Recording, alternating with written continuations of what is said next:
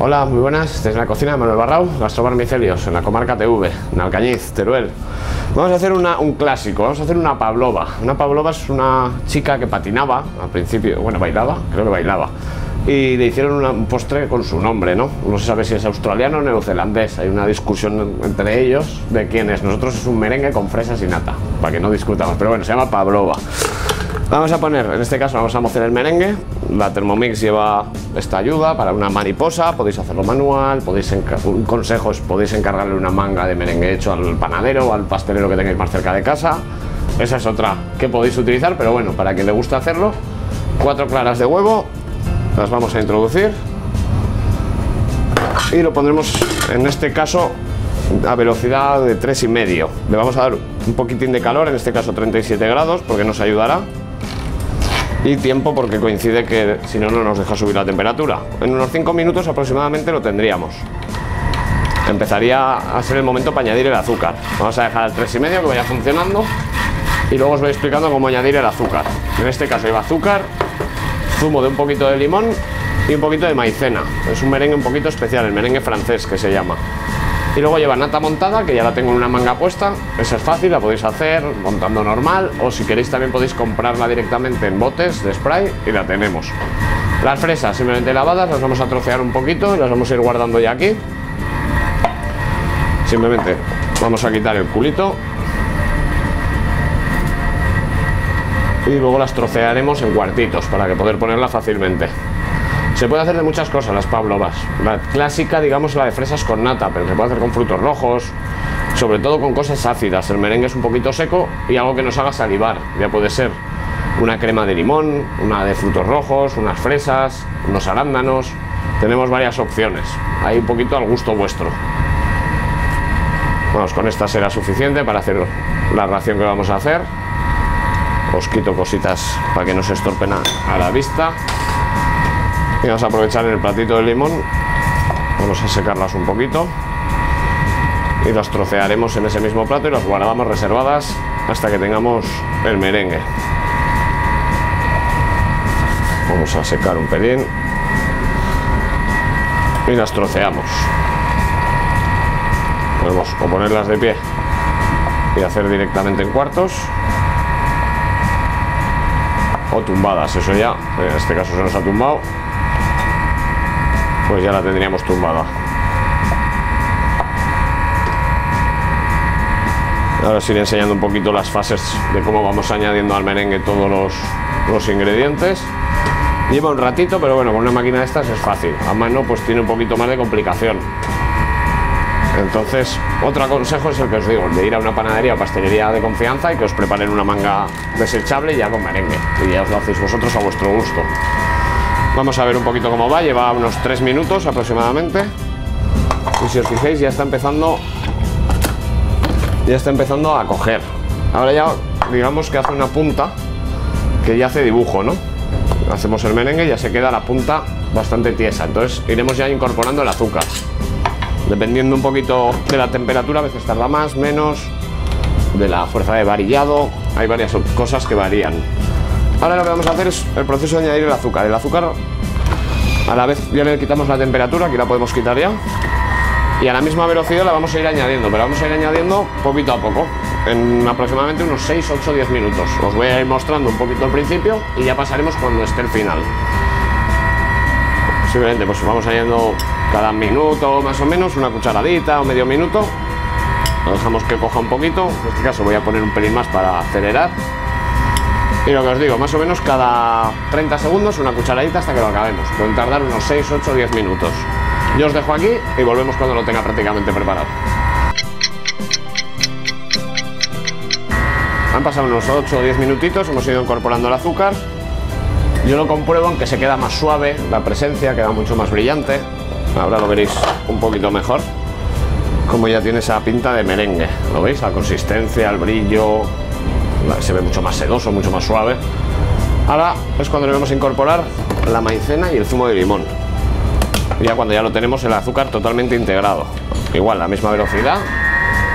Incorporaremos unas gotitas de zumo de limón. Esto nos va a ayudar a estabilizar el merengue, a que se mantenga más estable. y ya que sea un poquito más refrescante en boca, que no sea tan seco. Y la maicena que también nos va a mantener un poquito la, compacta, lo compactado ¿no? que nos va a quedar. Para este caso soportar también el relleno, ese poquito de humedad que le vamos a añadir. Una cucharada aproximadamente de maicena. Dejaremos simplemente que lo incorpore. 30 segunditos, es muy rápido. Y ya lo vamos a pasar a la manga pastelera.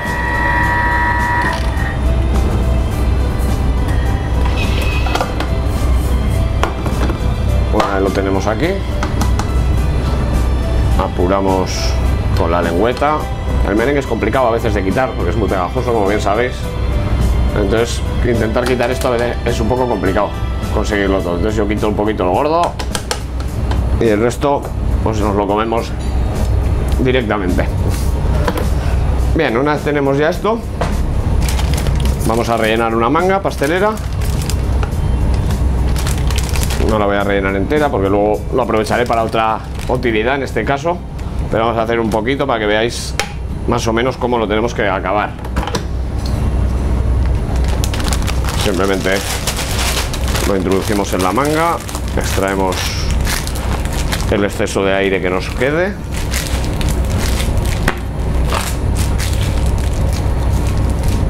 Y le hacemos un pequeño agujero para trabajar. Una bandejita con un papel de horno, manchado un poquito. Y aquí podemos hacer varias formas. Hay quien hace las pavlovas directamente para rellenar encima, hay quien las hace con su relleno y su tape. Vamos a hacer un poquito de las dos para que veáis. Podemos, por ejemplo, un tamañico así, y la vamos a abrir abajo y otra que podríamos simplemente poner una pequeña base y directamente ir ya preparándole como un pequeño nido para colocar las fresas para cuando hornee que nos salga. Y aparte pues hacerle una pequeña tapadera para ponerla encima. Vamos este por aprovecharlo vamos a hacer igual que las otras. El merengue crece un poquito tampoco lo pongáis muy pegado al, al siguiente porque tiende a crecer un pelín. Podemos hacer así o incluso hacer un pequeño hueco con ayuda de una cuchara o incluso de la misma lengua, para que veáis. Podríamos hacerle un pequeño agujerito y automáticamente dejarlo así. Vamos a hornearlo así. Yo os he preparado un par de modelos diferentes y ahora rellenamos uno enseguida. Para hornearlo, el merengue necesita mucho tiempo y poca temperatura a unos 130 grados entre 40 y 50 minutos. Una vez termine, abriremos la puerta del horno un poquito, lo dejaremos que se vaya enfriando dentro del horno apagado. Los contrastes no le van bien. Como veis, ahora lo tengo, seguramente se nos baje un pelín, pero bueno, en este caso, por no haceros esperar, lo sacaremos ya y os lo enseño.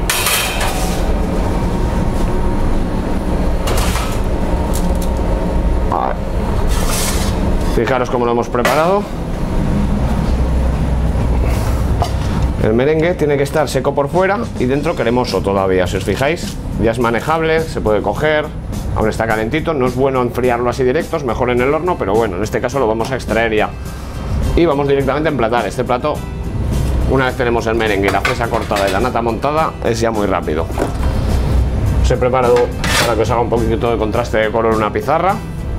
Y en este caso pues vamos a coger uno que ya tenga huequecito, que nos vendrá muy bien y tengo por aquí la nata montada,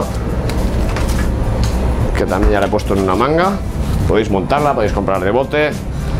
Ya os digo que ahí depende un poco del tiempo y de lo que os guste también ensuciaros un poquito las manos, ¿no? En casa. Vamos a poner un pelín de nata montada.